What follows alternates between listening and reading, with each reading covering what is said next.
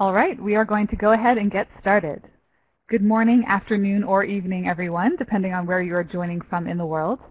Welcome to today's Ag Sector Council webinar titled SPS Priorities for Sub-Saharan Africa, Opportunities for Expanding Regional Trade and Improving Food Safety Systems. Trade, food safety, and the policy enabling environment are essential contributors to global food security, so we are very excited to be having this webinar discussion today. We have three speakers from ACDI, VOCA, and the LEO project who will be uh, covering a lot of material, so I won't be too long here at the beginning. I'll, I'll just go over a few housekeeping issues. First, I wanted to let you all know that this webinar is hosted by AgriLinks, Feed the Future's technical knowledge sharing platform. AgriLinks hosts regular seminars and special events to facilitate the exchange of knowledge among practitioners. And you can visit agrilinks.org where you can contribute to online discussions, submit resources, and post to the blog. Of course, I should introduce myself. My name is Julie McCarty, and I'm a Knowledge Management Specialist with the USAID Bureau for Food Security, and I will be your uh, main facilitator today. To let you know, uh, you should use the chat box on your screen, which many of you have already done, to connect with other participants, share resources, and ask questions throughout the event. We'll be pulling your questions, noting them down, and asking as many as we can during the Q&A session, which will follow on the presentations after the speakers. If you have any technical issues at any time, if you think you're having audio issues or something's seizing up in, in your webinar experience, uh, please try starting a private chat with our AV tech who's up there in the, the host section of the attendees pod. Uh, you can hover over AV tech uh, and click start private chat. You can also start private chats with anyone else who's uh, joining the webinar today. Uh, so we certainly encourage making those connections. Lastly, this event is being recorded, and you will receive an email with the recording and other post-event resources uh, shortly after this event. And that will include the new reports that will be re referenced in this webinar. So uh, anything you aren't able to download today, you will definitely get an email uh, with those reports uh, in a, a short period of time. We hope about a week, but we'll see how quickly we can get all of that out to you. All right, so with that, uh, we're going to dive into an introduction and, uh, and get started with our content today. So I would like to go ahead and introduce Jeff Hill, who is the Director for Policy uh, with the USAID Bureau for Food Security. And he'll be giving a brief intro and introducing our speakers. So I'm going to go ahead and turn the microphone over to Jeff. Thank you, Julie. And uh, it's a real pleasure to be here, and I really want to actually also thank everybody for joining us on this um, on this webinar. Uh, we have a lot of people from all over the world and uh, really are looking forward to a great discussion here.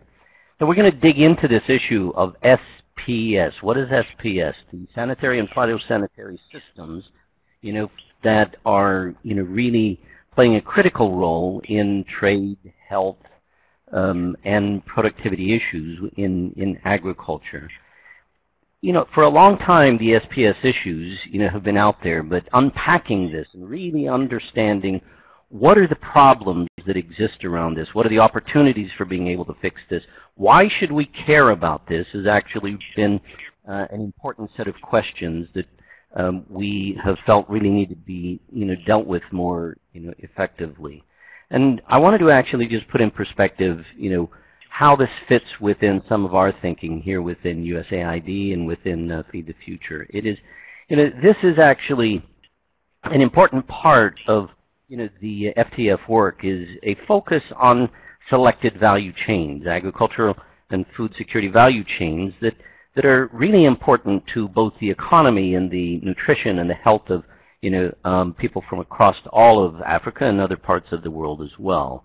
And within that, you know, clearly being able to get the benefits from, you know, the uh, work on value chains, it is important for people to be able to trade, you know, the goods that they are producing. And it's important for people to be able to have, you know, healthy food, you know, that they can, um, that they are eating here. And so, so really looking at these issues of, of, of SPS and how important they are for the success of different value chains is an important concern. And those, those relate to both, you know, uh, policy issues and interventions, but also technical issues of being able to solve, you know, some of these, uh, some of these. So, so we really look forward to learning uh, you know, what the studies that have been completed now uh, that have been uh, sponsored by uh, the Bureau for Food Security, in East Africa, West Africa, and Southern Africa. And, you know, in East Africa, the studies have, you know, helped to look at uh, both the maize and livestock value chains across a number of countries, within countries, but also, you know, across the different countries. In Southern Africa, it's looked at maize and soya and groundnut, both again across a number of countries and, and looking at also the issues of the uh, regional standards uh, that have uh, been established. And in West Africa, again, looking at you know the maize and uh, livestock uh, value chains. So this gives us a chance to look across these areas and see what is different, what is similar, you know, what is working, what isn't working, what's the impact you know that we are seeing from uh, you know the um, the status of SPS efforts right now. And, you know, we're really delighted that, in fact, we've got, you know, three great presenters, you know, that are going to actually uh, help us understand, you know, the findings of what has come from these three different studies in East, West, and Southern Africa.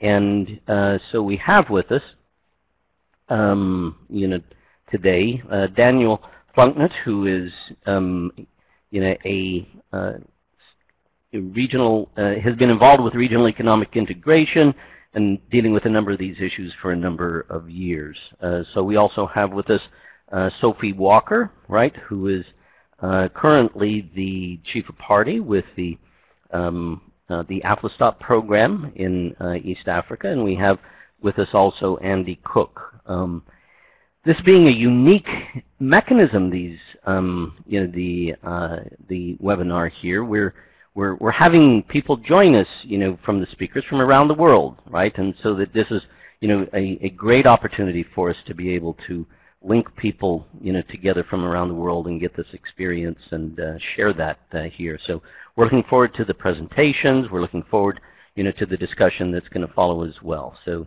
uh, let me just hand it over now, you know, to Sophie Walker. Sophie?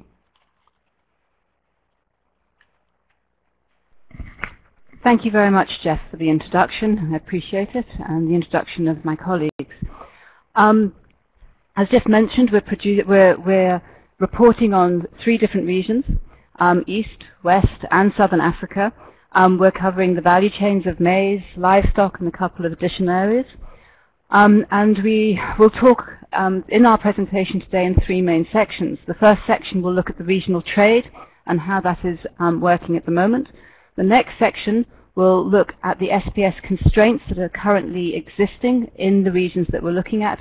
And finally, we're going to present some investments that we believe um, will help move the SPS agenda forward. I first got involved in the SPS agenda back in 2004 in aflatoxin when Kenya had just had the outbreak with 125 people dying.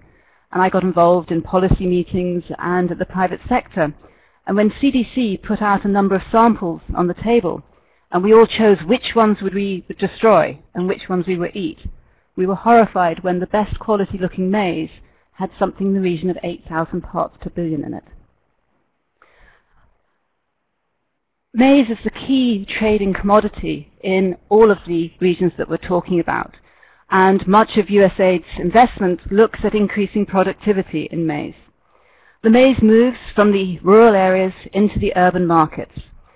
If the urban market happens to be across a border and is closer, it will move across the border, formally or informally. If the, the, the, maize, the maize moves wherever there is demand, so you have the deficit areas driving the movement of maize.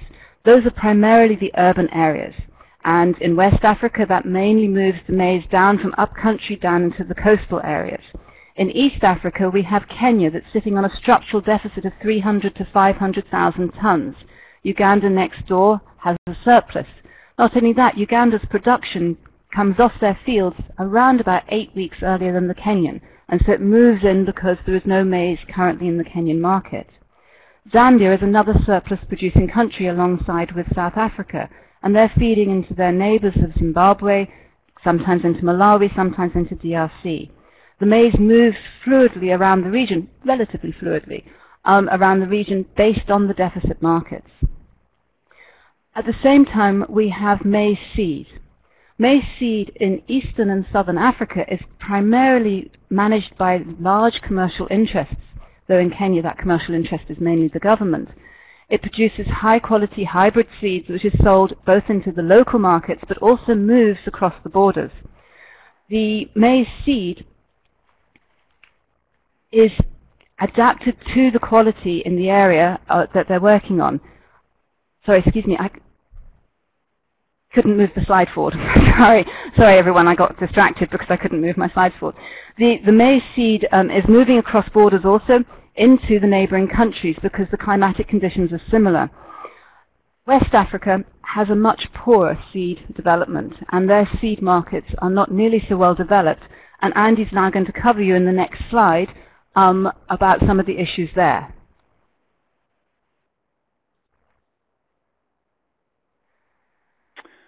Um, I'm going to talk about ruminants um, in West Africa and East Africa, which were covered in the studies that we've done.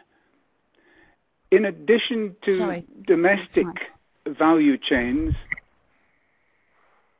West, West Africa has a long-standing and dynamic trade in cattle, sheep, and less so, goats.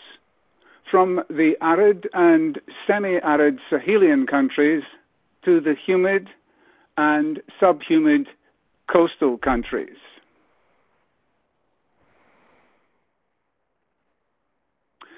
West African herd owners trek animals to collection markets with traders then mostly trucking them within the country to an export market and then to the coastal country destination market. Slaughter takes place near the point of consumption almost no red meat crosses land borders.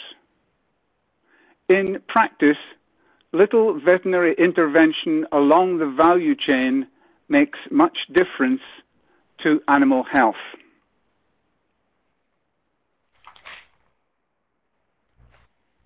For decades, slaughter in the Sahel, followed by trucking red meat to the West African coast has been the holy grail, but it has never worked sustainably.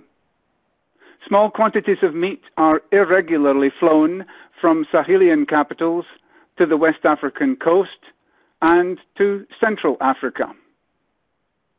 Prospective Middle Eastern buyers sometimes visit Sahelian countries, but abattoir conditions have not been favorable.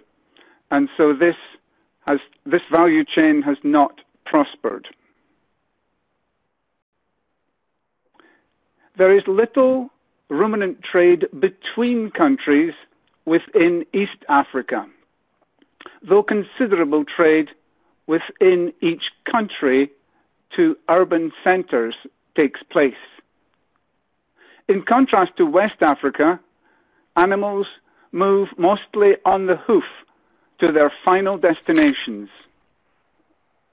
Sudan, Ethiopia, and Somalia export live animals to the Middle East by sea. And uh, meat cuts and processed meats are produced and marketed in Ethiopia and particularly Kenya.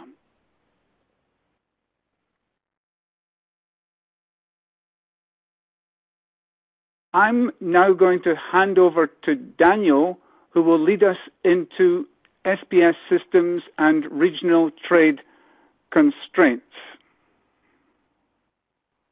Thank you, Andy. Hello, everybody. Um, just to give you an idea about trade in ground nuts, uh, this was covered in the Southern Africa report. Uh, the bulk of trade in ground nuts is informal in nature and generally goes unrecorded in official statistics. Although we can see uh, official data showing South Africa exporting about $4.5 million in ground nuts and peanut butter just to other SADC countries. Uh, Mozambique is at about uh, $1.5 million per year. these are in the official statistics, and we have uh, estimates that Malawi typically exports 50,000 to 100,000 tons of ground nuts per year just to the countries of the north, the RDC, Tanzania, Burundi, and Kenya. Uh, Zambia shows up as a steady exporter of peanut butter uh, within the region. Aflatoxin contamination is a major issue for groundnuts, uh, with recent testing showing that nearly half the crop in Malawi, Mozambique, and Zambia tests above the EU limit of two parts per billion. And when the ministries of health have done uh, testing, the level of aflatoxin in peanut butter on store shelves is found to be many times the permitted threshold. And perhaps as a consequence of this, uh, nearly half the children in Malawi, Mozambique, and Zambia in recent surveys are shown to suffer from stunting. Uh, generally, it is uh, South African importers in the formal sector who are the ones who require aflatoxin testing. Uh, many of them now test for aflatoxin in the countries of origin so that when the ground nuts arrive in South Africa, they know they are safe. Uh, two other value chains specific to uh, one region, uh, poultry in West Africa uh, is a sector that can be divided into extensive backyard chicken operations and more modern semi-intensive operations in competition with uh, imports uh, off the world market. Uh, within West Africa, there is cross-border trade in live birds and a vigorous trade in baby chicks, but there's little or no trade in poultry meat. Uh, these backyard poultry, known as poulet bicyclette uh, in West Africa, are generally not being fed much maize. So the issue of aflatoxin-contaminated feed for the chickens is not as pronounced in West Africa as perhaps elsewhere. Uh, interestingly, the backyard poultry is preferred by consumers as it's considered to have greater flavor. Uh, certainly a major SPS issue in recent years has been the uh, recurrence of avian influenza in West Africa in 2015. And uh, the SPS control systems for avian influenza are generally pretty effective despite the porous borders. The borders for poultry can be easily passed by, uh, whether at the formal border post or elsewhere. Uh, the lack of veterinary services for backyard poultry production is uh, um, not always very effective. And as for full, uh, excuse me, soy products in southern Africa, which our report covers, uh, we did not identify any real trade-related SPS issues.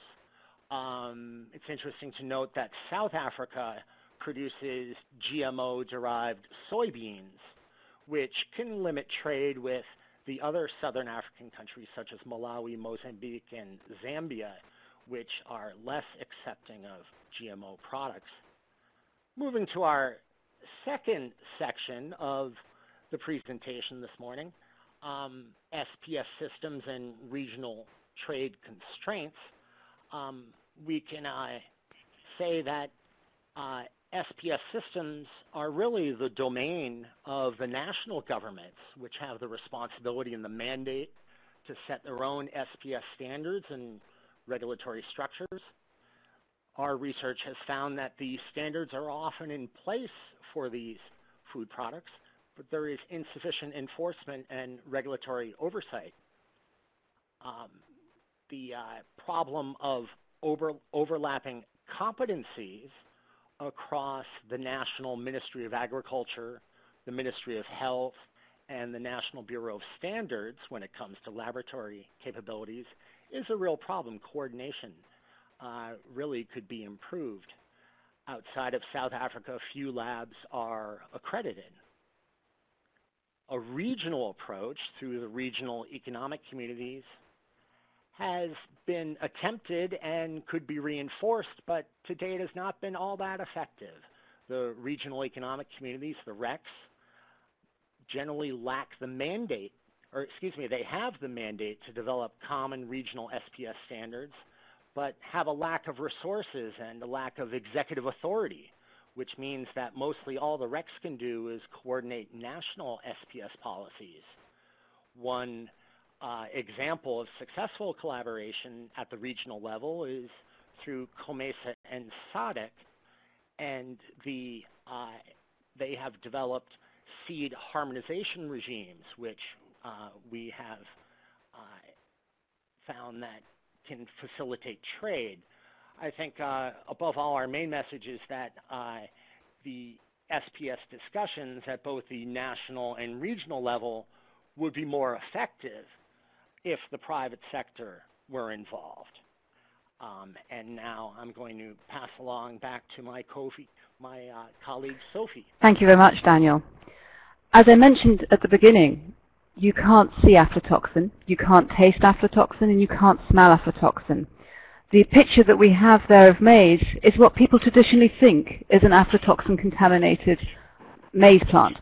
But it's not. It's probably fumonisin looking at the green color, but I can't actually tell. aflatoxin is actually a thousand times more potent and more carcinogenic than fumonisin. It is the key mycotoxin currently in Africa to be concerned about, and it's spread from Ethiopia all the way down into Mozambique. It's spread across West Africa. It's particularly prevalent in the lower-lying tropical areas that then have moisture problems at some of the times in the season. Most consumers are unaware that there is aflatoxin in their country, and yet the LEO desk studies and looking at research paper proves that many of these countries are ex existing with problems of 20 to 30% of their commodities actually contaminated. That's both maize and groundnuts. There's some countries have no contamination, very little contamination in their maize, such as Zambia, but at the same time it has high contamination of its groundnuts. There is limited testing both testing capacity and the capacity for the labs to have the budget, government labs to have budget to actually carry out the tests, but also requirement for testing. Because although in some countries there might be a regulation on the book, such as 10 parts per billion in Kenya, it's not tested because if 20 or 30% of your maize is contaminated, that's three or 400,000 tons. You can't afford to destroy that amount of maize without creating a food insecurity problem. And so there's been a lack of policy enforcement, although there has been a movement towards regional standards for aflatoxin, particularly in East Africa, less so in South Africa and less so in West Africa. Moving on to maize lethal necrosis. This is a, an SPS issue that um, suddenly leapt into our view in 2011 in Kenya. It is, has no implication to health like aflatoxin does, but has significant implications to the maize plant health. It can cause up to 100% failure depending when the maize plant is exposed to these two viruses that act together. It's spread both through insects from field to field and through seed, and so it can spread rapidly and did into the neighboring countries, into Uganda and Rwanda, probably through seed cells, so that's not entirely unproven we see in more southern Africa, the countries neighboring these contaminated areas, Tanzania is the latest country to be contaminated with the, with the disease, now setting up surveillance systems. So both Zambia and Malawi have limited surveillance, but they also have limited budget at moving the surveillance forward. We have seen, particularly in Kenya and Uganda and Rwanda, that the national SPS bodies coming together to respond to MLN and to put in action plans. But as I mentioned, South Africa has only a small awareness of it, and West Africa has almost no awareness of this issue. And that leads Andy in to talk again about the maize seed systems in West Africa.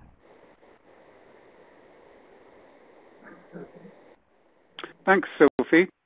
Um, we've heard that West Africa lags behind the rest of the continent in its awareness of MLN.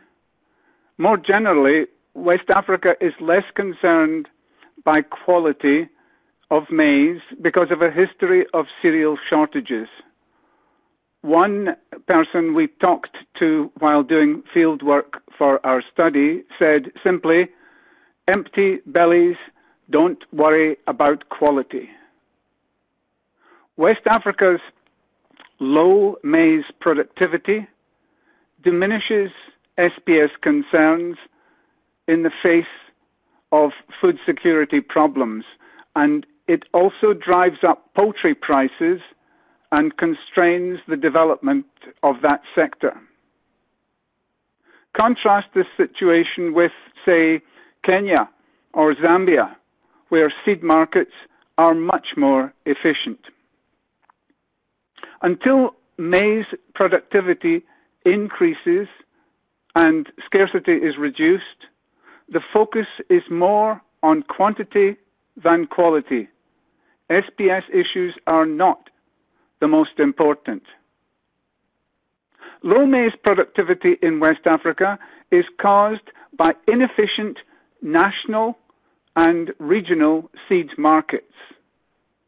The regional maize seed market is composed of national markets that are segmented and protected. Here are the constraints. Firstly, at the national level, agricultural research organizations may produce good breeder seed, but public sector bureaucracies are unable to get that seed to commercial multipliers and thus to the farmer.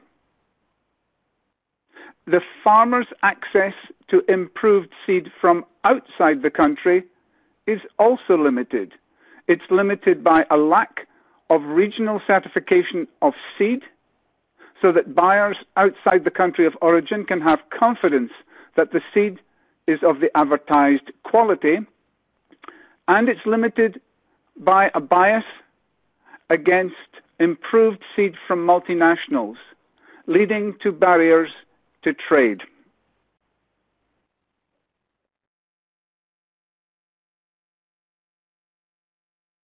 I'm now going to talk about the SPS constraints to livestock.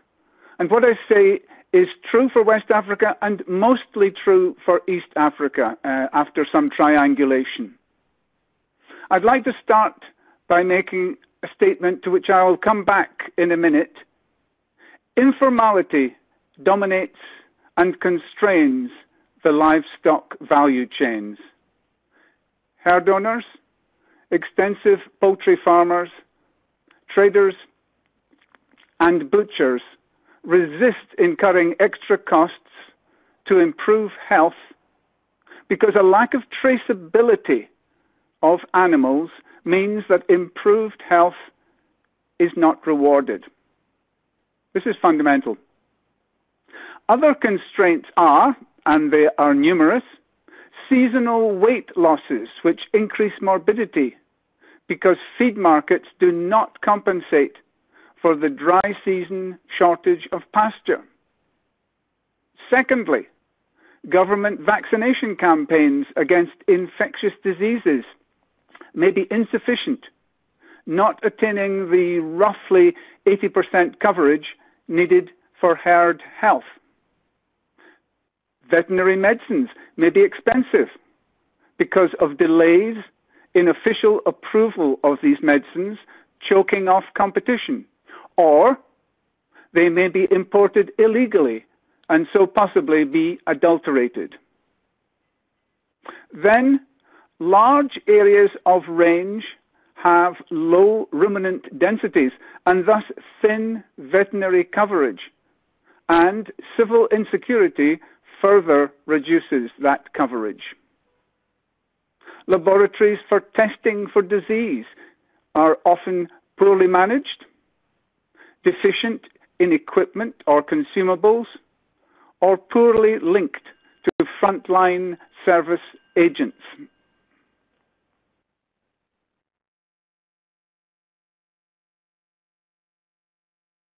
Veterinary agents receive informal payments. You might call them bribes, though these are often at least partially to cover costs that the state does not pay for example, motorbike expenses, and they are small in the overall scheme of things. More important is the lack of sanitary inspection that actually takes place due to a lack of equipment, a lack of motivation on the part of the veterinary agents, often due to low expectations, and a lack of means to deal with animals identified as diseased. At borders, poorly equipped veterinary agents often lack quarantine pens and procedures to deal with diseased animals. In East Africa, most trade ruminants cross borders without bothering to pass by veterinary posts. They're doing so on the hoof, so border disease checks are ineffective. In West Africa, most ruminants, uh, trade ruminants cross in trucks that pass by border posts, but in the background, large numbers of transhumant animals cross back and forth across border segments which are uncontrolled by veterinary agents. And then when we get to the bottom of the value chain, downstream, abattoirs are dilapidated, ill-equipped, and unhygienic because of inefficient public sector management and the influence of traditional butchers who cater to a mass market and have no formal training in veterinary science. Let us return to the lack of traceability of the animals. Supermarkets in the destination market have no way of knowing which traders have deliv delivered the cattle slaughtered to provide the beef they sell, never mind which mix of herders actually raised those animals. So the premium for quality that middle-class consumers will pay cannot be directed to herd owners who raise healthy animals. The animals are indistinguishable.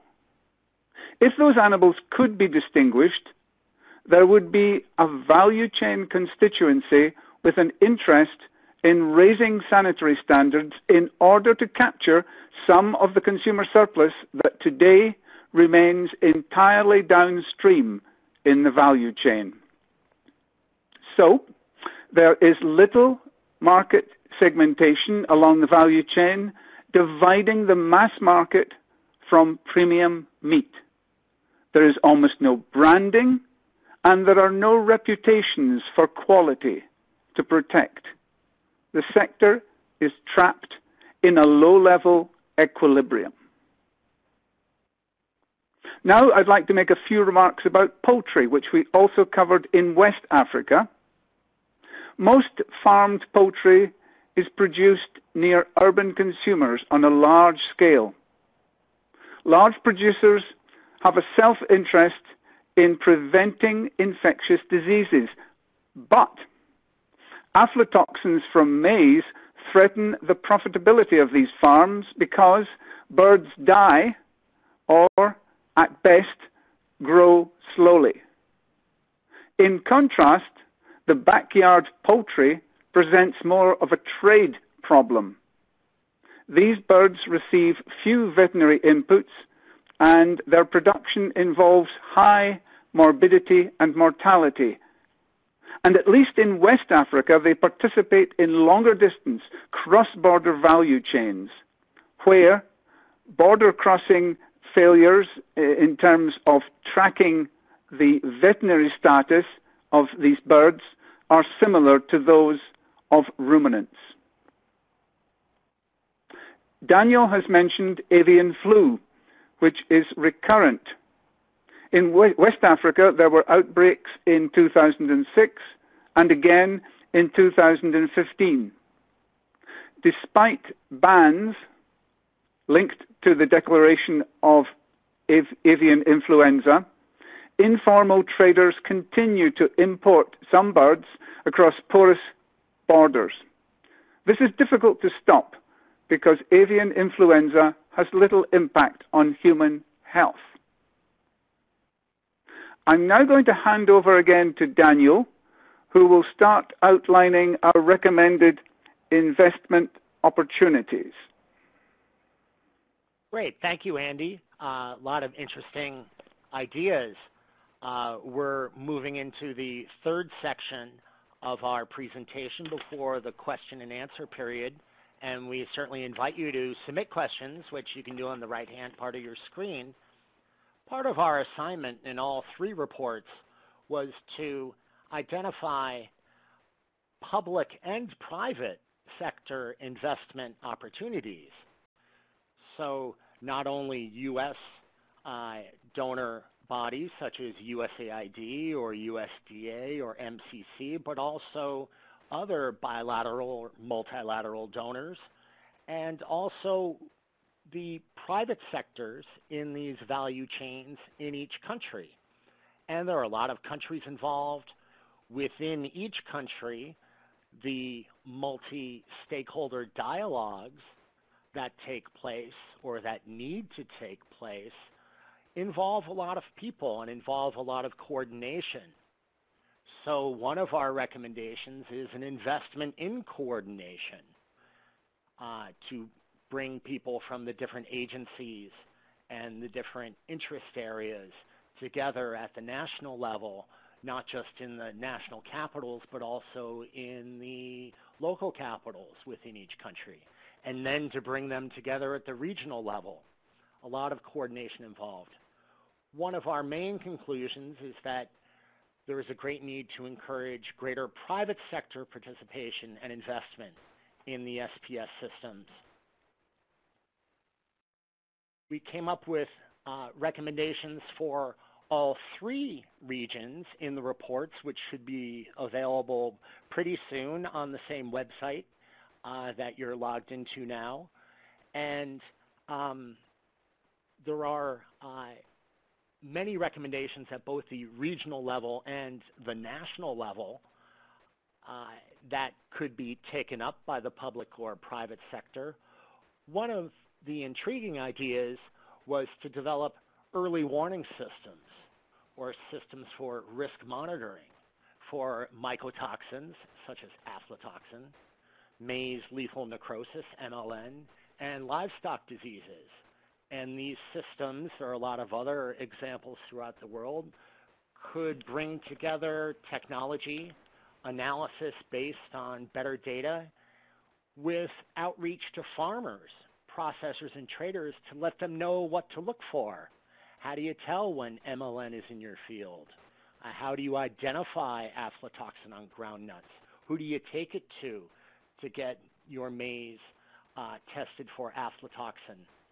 This gets at the need to raise awareness among people, actors throughout each value chain about these specific SPS issues. And in our reports, we try to offer market-oriented solutions to arrive at a safer food supply. Raising awareness means not just producers and farmers groups and millers and animal feed manufacturers, but also looking to involve consumers mothers groups interested or concerned about aflatoxin contamination. Healthcare workers, an example, Mozambique hires ambulant doctors that go around in rural regions from house to house asking about nutrition, uh, household health, women's and children's health. Um, agricultural extension workers are another avenue. Most ministries of health uh, are able to access public service announcements through local community radio and national TV stations. There's now social media. Our report suggests a number of ways to raise awareness. Uh, I'm going to pass along now to Sophie to talk about more specific investments uh, related to mycotoxins. Thank you very much, Daniel. Looking first at aflatoxin, I have to say it's a rather exciting time to be involved in it. 12 years ago, there was very little on, available for the African governments or or the South American governments or the Asian governments to actually look at to see how they could address this problem um, that was affecting their populations. However, with uh, support in research and development, we now have a number of mitigations that will address it. Aflasafe, supported by USAID and the Gates Foundation, will treat the soil. It produces an 80 to 95% reduction of actual occurrence of aflatoxin there. Hermetic storage will also reduce the increase of aflatoxin during storage, 95%. And these are now being commercialized into the market. The IITA is moving Aflasafe. It's registered in Kenya, Nigeria, and is in the process of registering in Senegal, Gambia. And they have plans to move that out over another nine countries in West, East, and Southern Africa over the next couple of years the movement of hermetic storage is gaining speed, um, particularly through um, the AgResults program in Kenya, where we're now having hundreds of thousands of sales of hermetic storage, not to deal with aflatoxin, but to deal with infestation, insects. But at the same time, it's also mitigating aflatoxin increases in storage. So it's an exciting time that there are now solutions.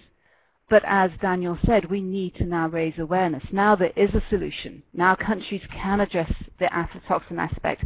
We need to raise the awareness through everyone, through the consumers at the political level and the producers on how to address this issue. And that requires local champions. While the USAID's um, appointed regional SPS advisor in East Africa helps coordinate and link people together, it doesn't become personal until you, until you start talking about your children are being poisoned. And to make it personal, you want local people in the media, the politicians talking about this as part of their agenda to actually move this into the public consciousness. And as it moves into public consciousness, then it allows support to the private sector incentives, very similar to the AgResult program. For instance, you could create a private sector reward for all the, the volume of aflatoxin re regulated levels peanut butter in Malawi. And as you reward the private sector to change their systems to improve the quality of their peanut butters, simultaneously you can now start bringing in the regulatory side so that the government can now start imposing these safe regulations so that the food stuff that is being fed to our children and to our families is now safe. And this all feeds into each other. It becomes a self-supporting system. As the trade and the processors want clean food, so therefore the producers of the food have to deliver clean food, otherwise it won't sell into the market. Looking at maize lethal necrosis, um, there has been great movement in East Africa to put together national action plans. And those national action plans are act, active and being moved forward. There is the ability now to bring West Africa and Southern Africa into East Africa to see what's being done and what can be done, not just for maize lethal necrosis. Maize, maize lethal necrosis is today's problem. In five years' time or ten years' time, there will be a new lethal plant disease that needs to be addressed. And if we've already worked out how to have national action plans, who should be involved, who needs this funding, these countries will be more able to rapidly respond to potential outbreaks in the future. We also need to bring in the private sector, particularly in southern Africa and potentially in West Africa that develop. They need to understand why MLN might be important to them because, as some of the Kenyan seed companies say, they've closed down their seed production because they can't afford the loss when MLN is found on their land. And so that surveillance and the private sector support to surveillance is absolutely important as we move the investments forward. I'm now going to hand over to Andy, who's going to cover the West African investments in maize.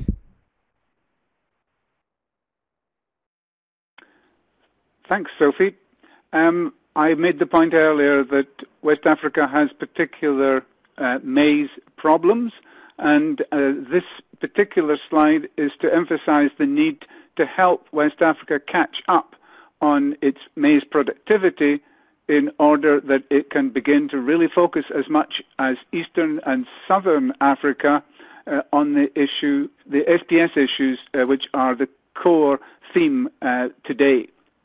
So there's a need to increase maize productivity in West Africa, a need to develop commercial seed markets. Nationally, in each country, by licensing of multiplication and distribution rights of public domain seed to private firms, and regionally, harmonizing national seed policies, and through regional certification of seed produced nationally so that uh, seed traders and ultimately farmers in a given West African country can have some confidence that imported seed, seed imported from another West African country, will be what it says, will do what it says on the bag. And with improved maize seed and other inputs, the farmer can increase his production and focus his attention on SPS issues and quality. Let me now talk about livestock sector investment recommendations from our reports. Upstream on the value chain, livestock production systems need improvements in ruminant and poultry health by re-establishing, or in some cases establishing for the first time, para-vet systems under the supervision of licensed veterinarians, public or private. Para-veterinarians have basic training in veterinary medicine, a stock of the most important veterinary drugs, a link to more qualified veterinarians which allows them to, to get advice and to have the means of replenishing their drug stock, stocks. Downstream, facilitation of the creation of abattoirs targeting high-end markets is another recommendation. The components would be private management of slaughter operations and the cold chain, and strict hygiene rules. Supports could take the form of cost share grants to upgrade facilities and obtain quality standards. This would allow the export of hygienic meat as well as the production of hygienic meat for domestic middle-class consumers, particularly if the abattoir were linked, and this is important, to a shorter regional red meat value chain linking the producer and the abattoir with direct deals between peri-urban producers and supermarkets. Imagine producers clustered around Sahelian urban centers who already invest in improved crossbred animals and provide good veterinary care and supplementary feed to their animals. And this, these are the people who already exist and they will make great candidates for a source of quality red meat. And they would be linked through perhaps joint ventures with coastal and Sahelian participants, ensuring that there is a constituency to solve problems that may arise in both the producing country and the consuming country. It would be preferable to supplement the direct deals with traceability, which I've talked about before, so that there would be a way to follow the animal along the value chain from farm to fork, thus allowing feedback back up the value chain on hygiene lapses. There should also, if possible, be uh, uh, development of irrigated fodder crops and a more integrated regional feed market to compensate for seasonal deficits of natural pasture and investment in exotic indigenous crossbreeds. These options can be combined into three models. Firstly, the first model is the transport of animals to coastal West Africa for slaughter, as currently happens, but with better abattoirs in coastal cities. And this is linked to what the West Africa Trade Hub is developing at the moment. A second model is slaughter in the Sahel for road and possibly air shipments to coastal West African cities. The third model is the development of that slaughter in the Sahel for air shipment to the Middle East, etc. So that, I think, is the, largely the end of our presentation. Um, I'm going to leave you with a slide which I don't propose to discuss that summarizes some of the major points that we have been making. Thank you very much. Wonderful. Thank you, Sophie, Andy, and Daniel. Just making sure I get a thumbs up that my mic is working. Oh, good. Great. Um, well, thank you all who are participating in the chat box. We've had a lot of really interesting uh, questions, comments, and shared experiences uh, come in. So I certainly encourage anyone who hasn't scrolled through the chat box to take a look there. We've been collecting your questions, and we'll go ahead and uh, start asking some of those to our presenters. Please continue to put your questions in the chat box. We have you know, up to uh, about 11 a.m. Eastern Time uh, to answer questions, so we'll get through as many as we can in that amount of time. All right, first off, there were a number of questions that came in uh, during Sophie's portion of the presentations that focused on a few aspects of maize disease, some clarifications. So I thought I would go ahead and ask those first. Uh, Dirk Stryker asked, are the hybrid varieties of maize in East and Southern Africa more susceptible to disease than the land races of West Africa? Higher yields but greater vulnerability. Thank you, Julie, and thank you, Dirk. Um, absolutely truthfully, I, am not a plant breeder and I'm not going to be able to answer this entirely fully. I can mention that the there is very little difference in some of the hybrid varieties in East Africa and the local varieties in their um, susceptibility to aflatoxin. What we have seen is that the, the varieties that the cover of the maize cob is open at the end are more susceptible because more moisture gets in and there's more access for spores to sit on those ends, and that's where you get higher contamination levels. Um, absolutely, again, I don't know whether Andy has any better knowledge on this, but I don't think there's been a lot of research on the West African races versus the South African or the East African hybrids. Thank you. Yeah, I'm not aware. Great, thank you. Yeah. And there were two questions that came in from Patrice Hakizimana, uh, who asked a, a couple of questions about maize lethal necrosis. One was, can you explain whether crop diseases like MLN in maize may cause uh, harvest losses and but not health hazards as mycotoxins such as aflatoxin, or do they also cause health hazards?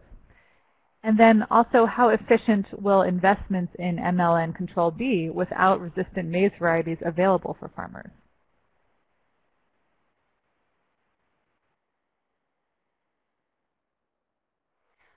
Thank you for those well, questions, Patrice. Southern Africa, we looked at this question a little bit, and um, as far as is known, there aren't real health risks related to maize lethal necrosis, but there needs to be a lot more research. There's some concern that it might cause mycotoxins um, in the plant materials that are left. Uh, Sophie, do you? Sorry, thank you, Daniel. Um, two aspects. Um, the MLN is a plant disease. It kills the plant. It doesn't have residue that's left that will contaminate um, human food in any way that will affect the human consumption. And, and, and Daniel is right. If you leave the residue in the field, it's quite possible that the viruses that are, are propagating there then is easier to spread to the next field and everything else. But there, there isn't an interaction with human health. For your mycotoxins, the funguses that grow as they grow and propagate, they deposit this toxin, and that's what's poisonous, and it's a byproduct of actual fungal growth. Um, and it's just a toxin that's deposited and is contaminated.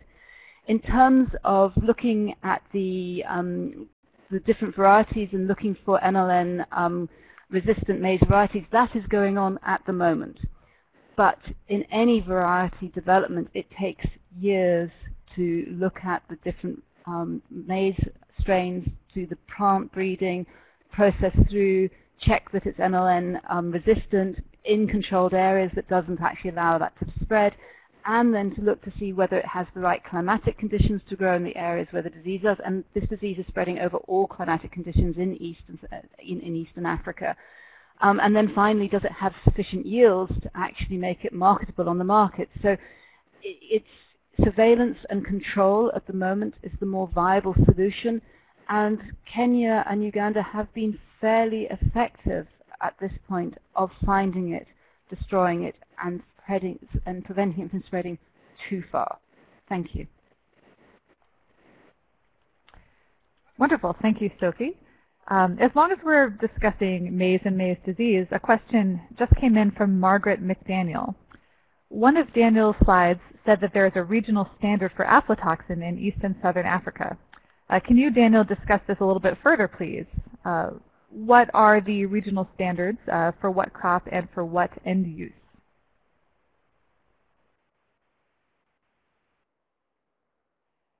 Uh, that's an excellent question, Margaret, and um, there is not a simple, easy answer for that.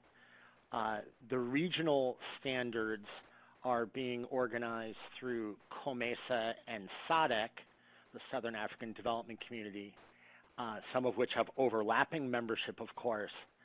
And um, what they have generally done, those uh, regional economic communities, in their SPS committees, on which each of the national governments is represented, uh, they have gone with the Codex standard, which is uh, 10 parts per billion for maize. Um, there is a um, standard out there of 15 parts per billion for ground nuts as table nuts. Um, these standards are not binding regional standards. They're more guidelines that uh, the COMESA and SADC countries are essentially affirming that Codex uh, provides, uh, which is uh, through based at FAO in Rome and is recognized by the WTO, is the standard setting body or a standard setting body throughout the world, um, and that these standards um, are uh, acceptable uh, within each of those regional economic communities. But each national government retains sovereignty over their SPS rules and can impose a higher standard if they wish. So the regional standards are still at the national level. You bring up the interesting question, Margaret, about different uses. This would be one of the really good areas for helping the national governments and the two RECs or the RECs throughout Africa to delineate um, what the acceptable standards for aflatoxin are based on usage, whether it's for human consumption, whether it's for animal consumption, which type of animal. Uh, from the research that we have done uh, in our three regional reports, uh, the larger the animal, the less susceptible to aflatoxin they seem to be. Uh, the older the animal, the less susceptible. Um, dairy uh, and certainly breeding animals are considered amongst the most susceptible. So this is an area that really could be fleshed out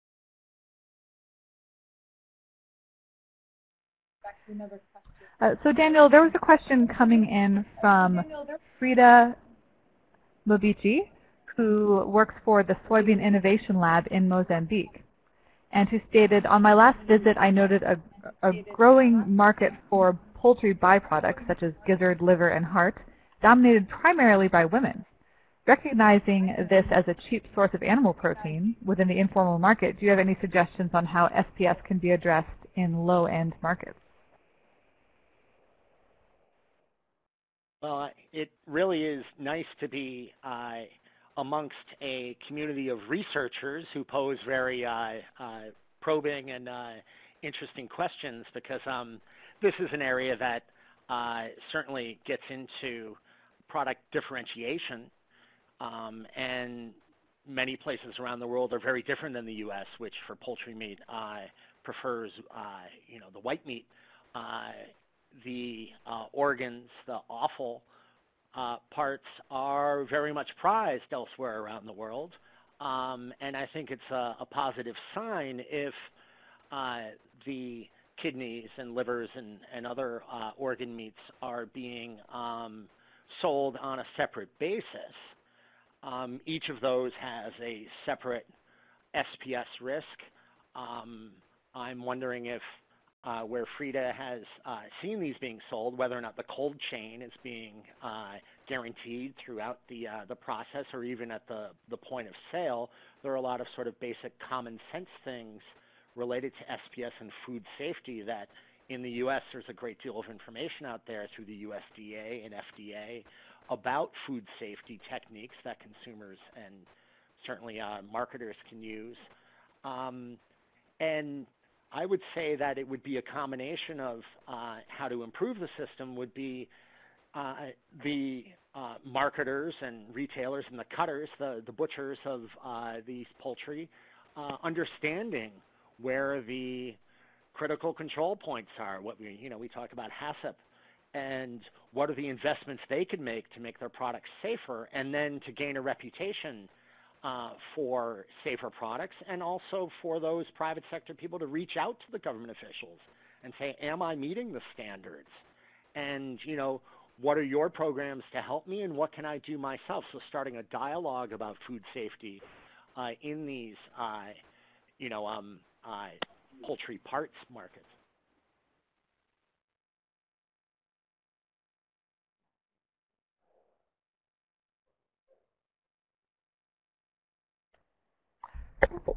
Uh, thank you, Daniel. Let's see. There was a question uh, I think I'll send over to Sophie about giving an update on the actual African countries currently affected by maize lethal necrosis, and that was from Seydou Samake. Thank you for the question, Seydou. Um, according to CIMMYT's latest information, um, currently MLN is present in Ethiopia, Kenya, Uganda, Rwanda, and Tanzania.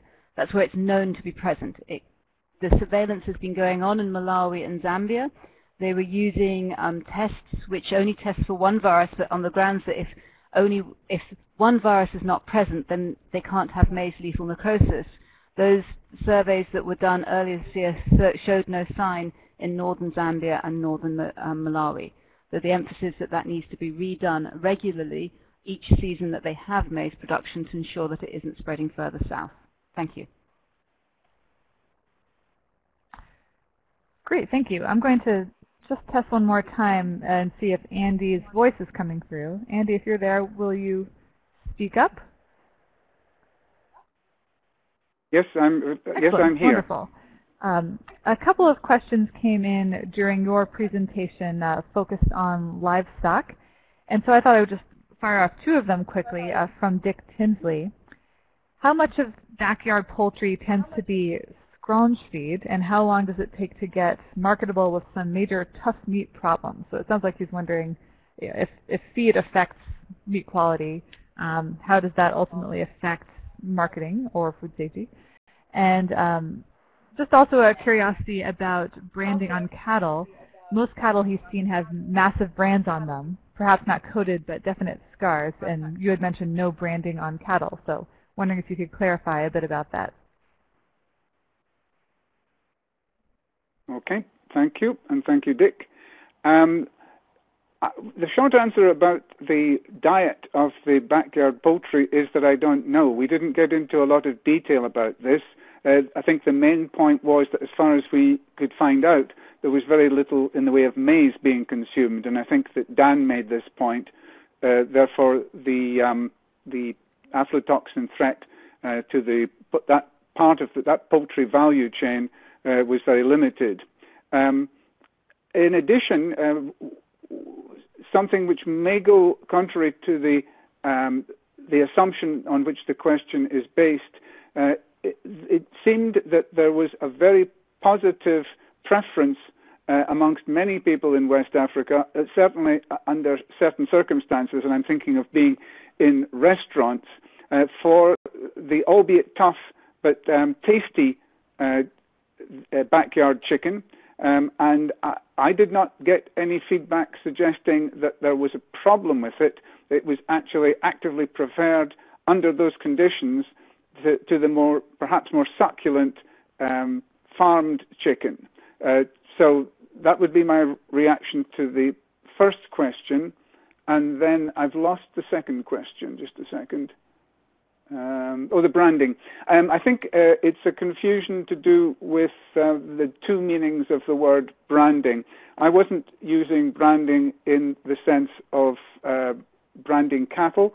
I was using branding in the sense of branding perhaps the meat, the supermarket branding uh, that would apply, and so that uh, a supermarket would have an interest in defending the quality associated with its brand with respect to its consumers.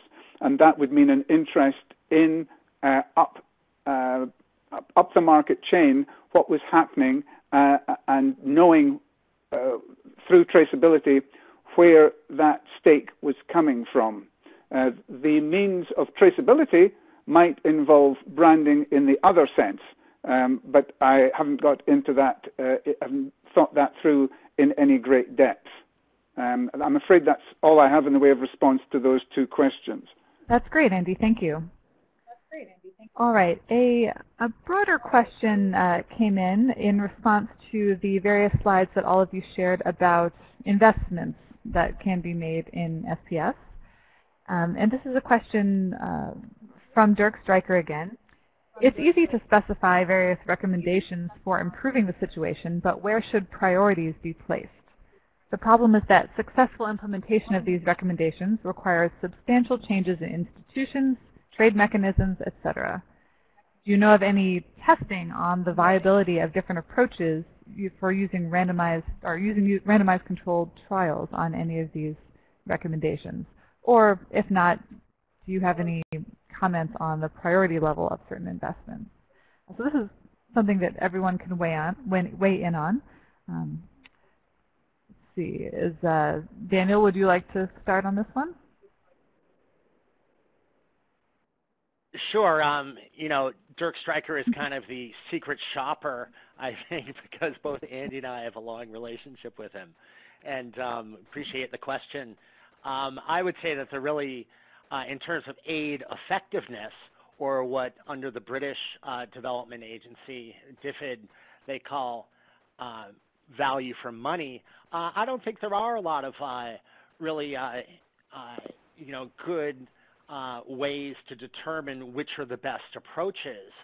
Um, in the recommendations that we're making, we tried to have both large and small, both bite size, that perhaps a small bilateral, uh, you know, donor agency might address, or you know, um, a, a uh, foundation of some kind uh, would see an interest in, as well as larger scale ones, um, and also having uh, recommended investments at both the national and the regional level.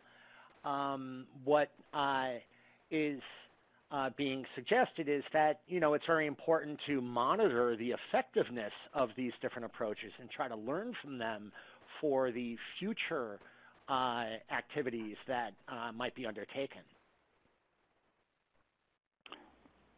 If I can add to that, um, this is Andy. I think one thing that uh, the study in West Africa uh, didn't do is get a detailed understanding of what all the other donors are doing. And this may be partly repeating what Dan has just said. Um, I think within a coordination of other with other donors, it would probably be transparent that uh, the other donors were covering quite a lot of these things, which would limit the options. Uh, it would still have a prioritization problem, but perhaps not such a big one. Um, I think it's also a question of short-term against long-term. Um, it would be nice, certainly, to make some uh, investments in improving regional and uh, national institutions so that if they become stronger, if, then the, um, some of the problems or the equivalent problems in five years' time uh, would be fewer and less severe. On the other hand, obviously, and maybe this is a bit simplistic, just but I'll say it nonetheless, uh, in the short run, if emergencies come up, they have to be dealt with so that people can be fed. Thank you. And one of the things that we had discussed, uh, just to chime back in, was that um, many of the most significant reforms in SPS systems occur due to food safety uh, incidents uh, if you will, scandals. Um, in South Africa 10, 12 years ago, it was found that the peanut butter being uh, given to the children in the school feeding program was well above the permitted level for aflatoxin. And this led to significant reform within South Africa's sector. and as far as I know, they stopped serving uh, peanut butter uh, to the children. Um, if the peanut butter is safe now, maybe they can reconsider.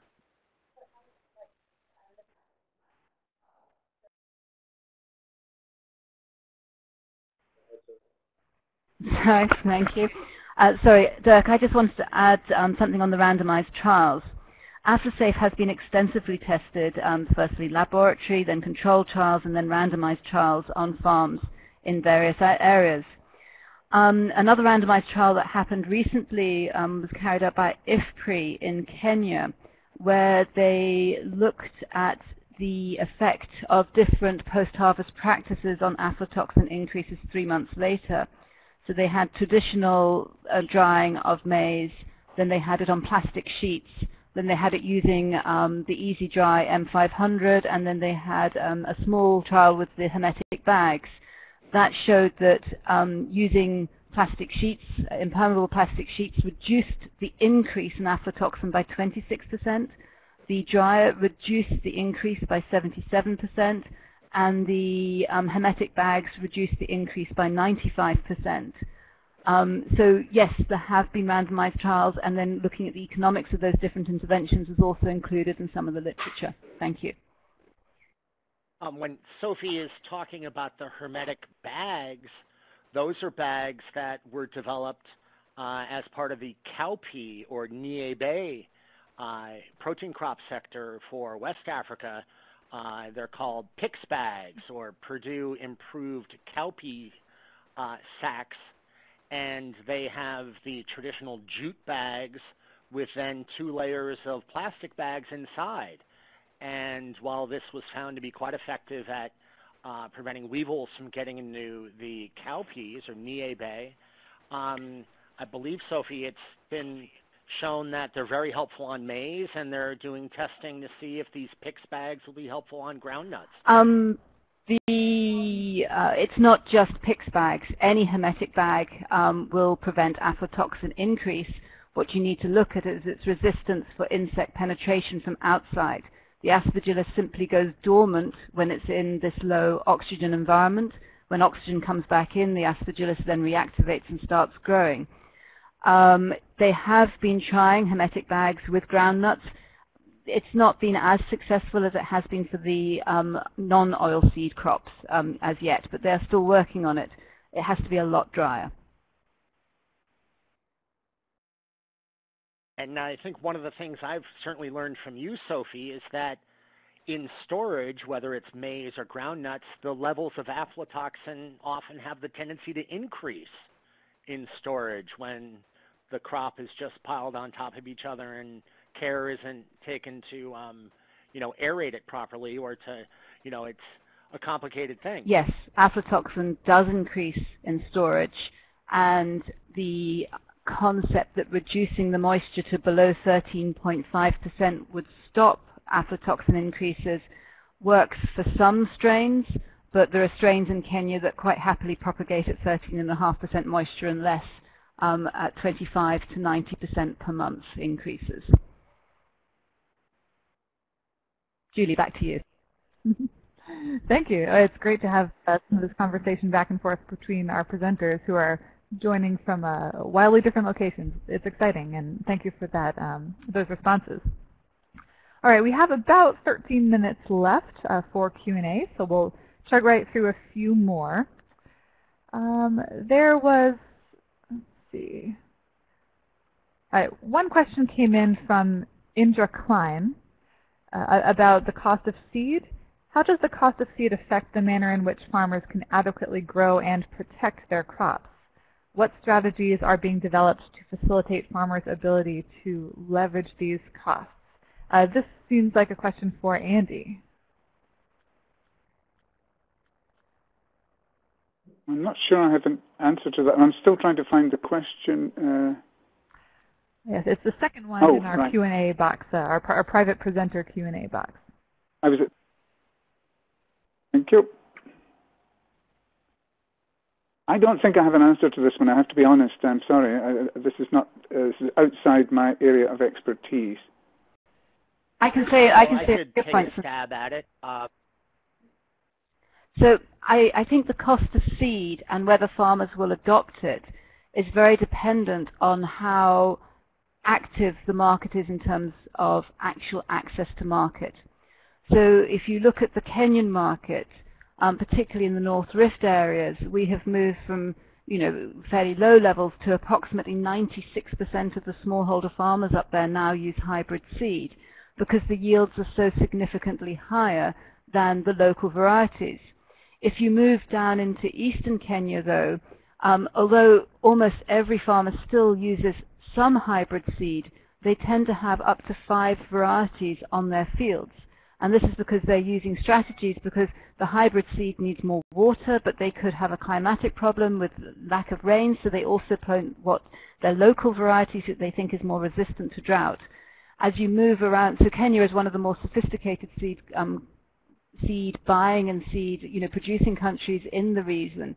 As you move out from there, um, you, you move down into northern Zambia. There's been low seed adoption, which is changing now again, as that market drives the security that you can sell your product, your ability to invest in knowing that you have a market at the end increases, and so your willingness to buy seed increases. Thank you. Yes, the uh, the question of what type of seed does a farmer plant is a key economic question throughout Africa. Um, hybrid seeds are generally available, but whereas most African countries don't offer pre-harvest finance, uh, the farmers need to have the money to purchase the seeds. Um, and any programs that are designed to encourage them to adopt new seed varieties, improved varieties, you know, certainly the first year, if you give it to me, I'll plant it and um, you know hopefully see that you know there's greater yield and less pest resistance. I think one of the conclusions from our research is that the improved and hybrid seeds uh, are generally more resistant to aflatoxin and fumonisin and other um, uh, plant diseases and uh, there's research through CIMMYT and IITA going on to try to develop MLN-resistant varieties or identify which varieties. So the choice of seed in terms of the ultimate impact on SPS and food safety uh, is, a, is a key element. And I think most farmers do it by sense of touch with his or her uh, sense of which ones are going to be most profitable. And as Sophie said, you know, it's kind of a, a survival thing, uh, strategy of going to plant some of these that I paid for and then some that I saved from last year, the open pollinated varieties.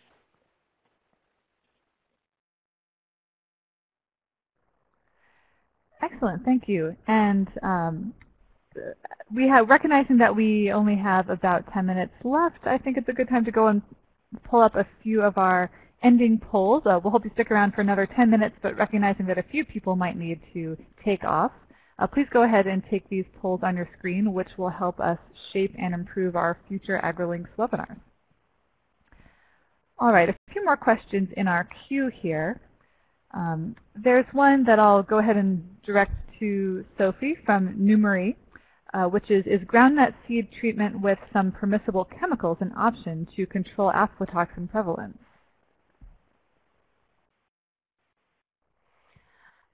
Thank you, Julie um, and, and Numeri. The IITA is currently trialing Aflasafe with groundnuts. Um, I know it's being trialed in Malawi to see whether it will be an effective um, mitigation method there.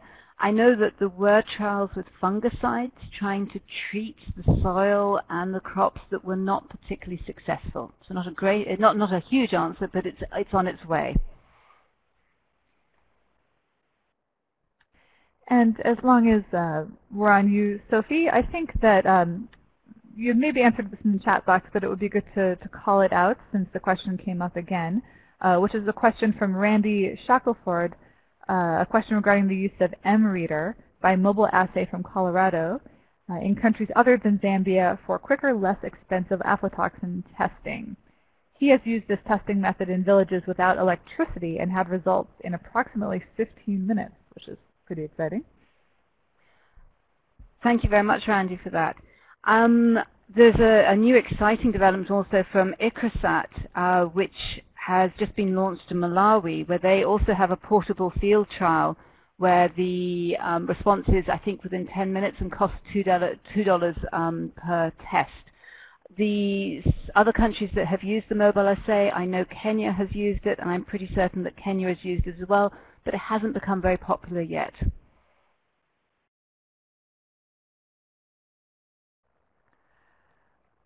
All right. And then um, a topic that always gets brought up in, I think, food safety and trade discussions is that of GMOs, or genetically modified organisms. And Dirk had asked about uh, the speed of developing greater resistance to disease might be increased with recent advances in genomics. It's very important because the use of these varieties is likely to be more cost effective. But what resistance have you seen because of concern over GMOs? And why don't we send this one to Daniel? Uh, this was one of the things that we studied as part of the Southern Africa uh, SPS report. Um, and we have four target countries under the Feed the Future, uh, Malawi, Mozambique, South Africa, and Zambia. South Africa, uh, it is, uh, there is a whole procedure for approval uh, for the planting of GMO crops uh, and the marketing of them.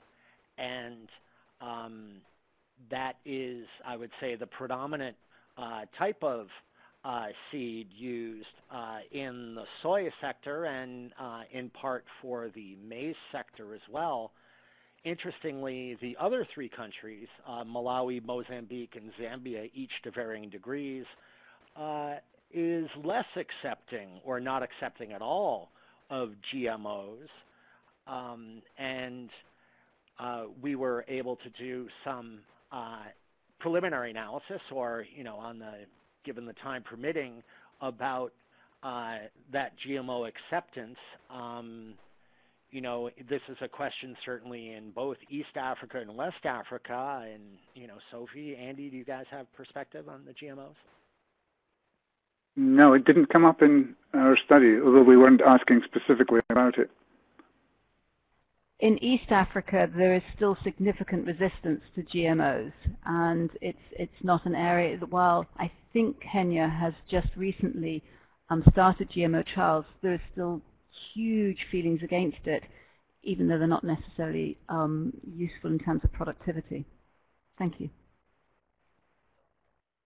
And even in South Africa, the market that has, you know, been more accepting of it, there are certainly in uh, consumer retail outlets uh, products that say produced without GMOs.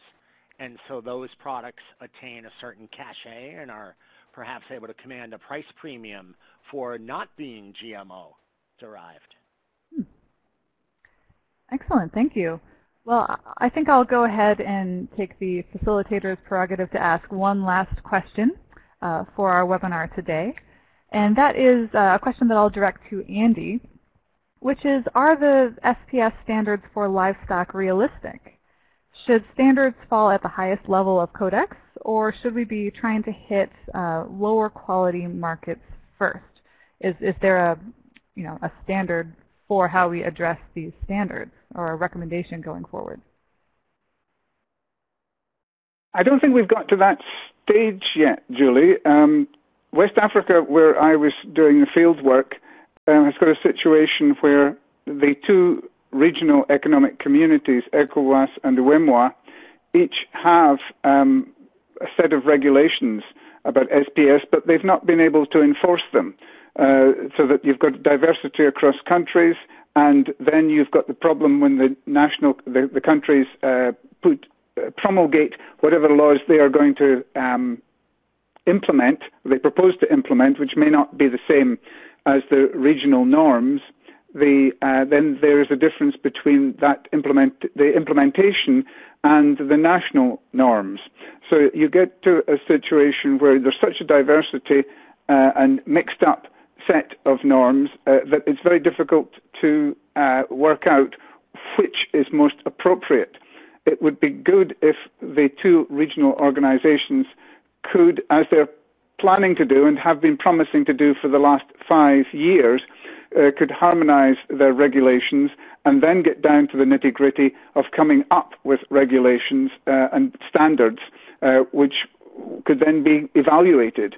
I, I, suppose it would be possible to evaluate across the different standards that are in practice being used between the different countries.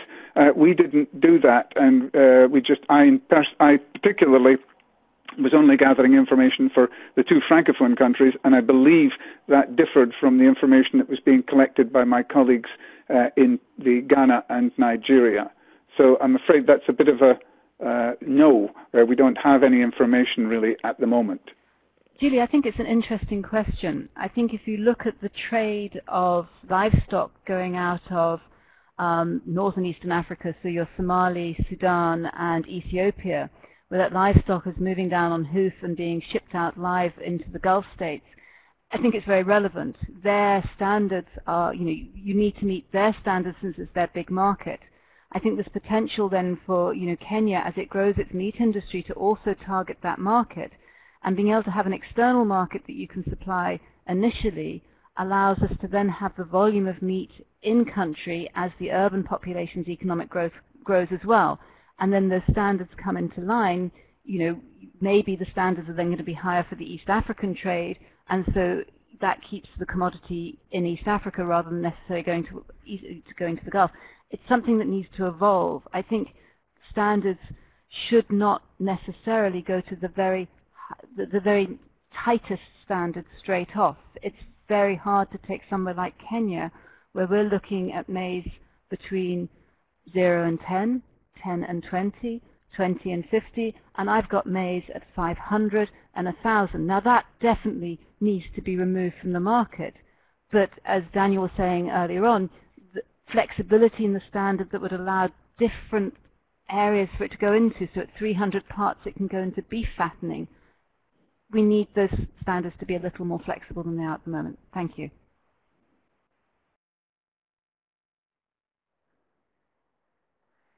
Very interesting. Thank you, Sophie.